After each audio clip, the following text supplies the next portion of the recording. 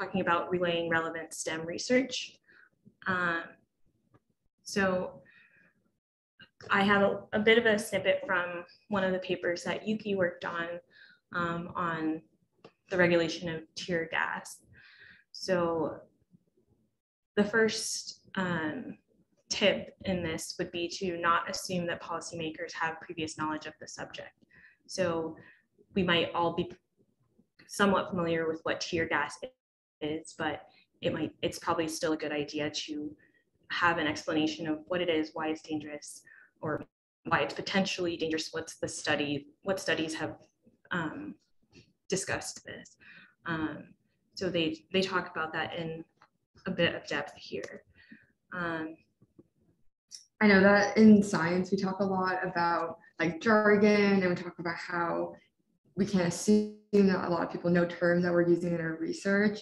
And I had this really funny thing the other day where I was talking to my boyfriend of like a long time now who's been around for my research and neuroscience. So I was talking about neurons. And then after a year, I realized that he thought I was talking about neutrons. And I guess I never established my baseline. Um, so yeah, I think we really, I think we talk about it a lot to the point where we kind of like stop thinking about it because it becomes noise. Um, but yeah, basic basic terms, you still gotta establish your baseline. Yeah. Yeah, that's really funny. um, see. Um, so the next would be, and yeah, you could just touch on this, but explain all of the necessary STEM concepts, acronyms, key terms that are critical to this the discussion. So um, here I've underlined a few things that they did.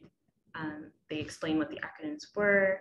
Um, they explained what tear gas was. They explained what the noxious effects that would be induced from tear gas exposure would be. Um, and and then the next thing would be, just like you said, cut out jargon. So some of the things in this paper that I saw were um, like the first, in the first line, lacrimator. I don't know if I'm saying that correctly, but I didn't know what that was. A lot of people might not, but it just means that it causes tear production, basically. So I think in using words that are more understandable to lay, the lay audience, saying like tear gas cause like is a tear producing agent um, would be a better maybe a better choice of word for um, a policymaker and um, and then also when they talk about receptors the specific types of receptors might not be as interesting to a policymaker so maybe that would be something that um, could be taken out or explained further um, and then also in pain sensing nerves, that was a, a good example of using common words that would be understandable rather than no, nociceptors. Is that the right word? Yeah. yeah.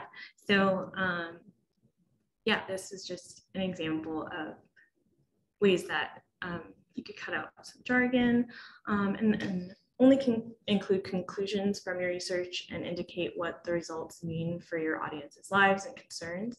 So um, they did a good job of, you know, condensing all of the research they did from these papers into like the conclusions from that and the takeaways and um, what that means in the in the last um, circle here, what that means for um, the audience that tear gas shouldn't be assumed to be safe for the general public. Um, and then avoid qualifiers and talk about what is certain. So this is just to say that like in science we often want to be like this is we only have a certain percent of certainty but in policy you want to just focus on what is certain because that's what's going to um, be important to the policymakers.